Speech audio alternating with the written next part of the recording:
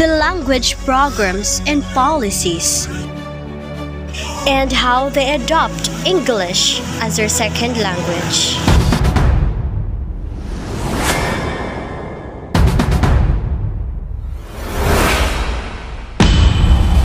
Annyeonghaseyo! My name is Quinlan Rose Basilisco. 안녕하세요 여러분 저는 지마리 히칼입니다. 안녕하세요. 저는 카테린입니다. 안녕하세요. Nathan Sunday.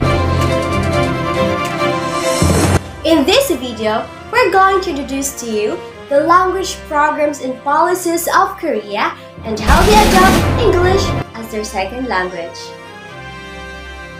South Korea is more or less a monolingual country. South Korea's linguistic policies are closely intertwined with the use of Hangul. Although Hangul was created by King Sejong in 1443, it was only at the end of the 1980s that it became a full-fledged official language across the board, including the public sector. Despite the Florida disputes, Hangul is now recognized as the exclusive alphabet in which to write down the Korean language. Since in the 1990s, South Korea has faced an unprecedented surge in demand of learning Korean language at home and abroad. Internationally, the numbers of foreigners seeking to learn Korean for economic or cultural reasons has increased. While internally, the number of foreign workers and foreign immigrant women married to a Korean spouse has also grown substantially. In particular, debates in multiculturalism have emerged in South Korea, which was previously perceived by its people as monoethnic and monolingual nation. As such, teaching Korean as a foreign language has emerged as one of the most important policy objectives. Meanwhile, there has been a boom in Koreans learning English amidst an ever-increasing interest in globalization. In the aftermath of the 1997 Asian financial crisis. And some people even went so far as to argue that English should become the official language of South Korea. Fortunately, this controversial debate was soon put to rest.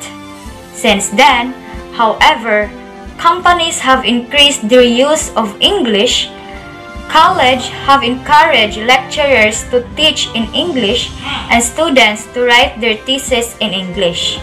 And some private elementary schools and kindergartens have initiated English engagement education. Against this backdrop, it is essential to strengthening the teaching of English to enhance the proficiency in English among Koreans while at the same time promoting the continued development of the Korean languages and to prevent English from threatening the sustainability of Hangul.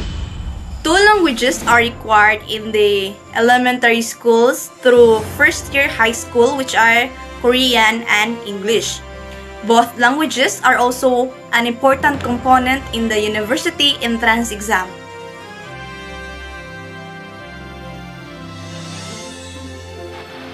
Korean is required as the national language and dominates the early years of elementary school education. Literary in Korean, the native language of early all students, is essential for success in all school learning.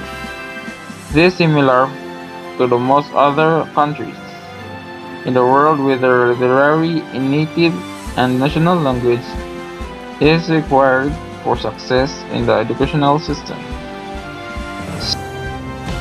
South Korea has banned English language classes for first and second grade students in elementary schools to minimize negative effects on early English education practices.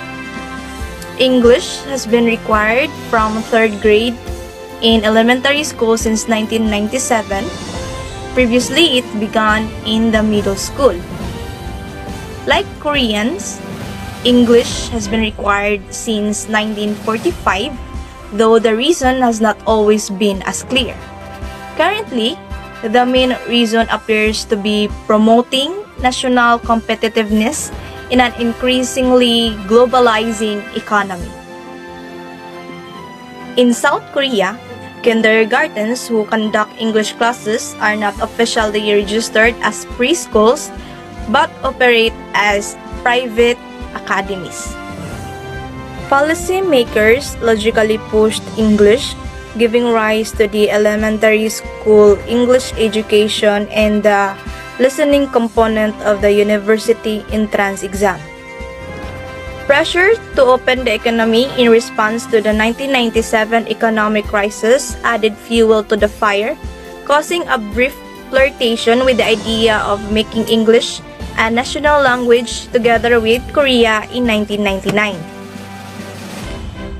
In 2001, the MOE enacted the TEE policy, improved the English proficiency of the Korean students mainly through English instruction, with the implicit acknowledgement that over 40 years of teaching through Korean had not produced competent English users. A survey on teachers, TEE, or the Tertiary Entrance Examination, practice conducted in 2002 shows that about 20% of teachers were using English as the MOI or the medium of instruction in at least one lesson of the week, and 70% of teachers were using it at least in part of their lessons. Thank you guys for watching this video.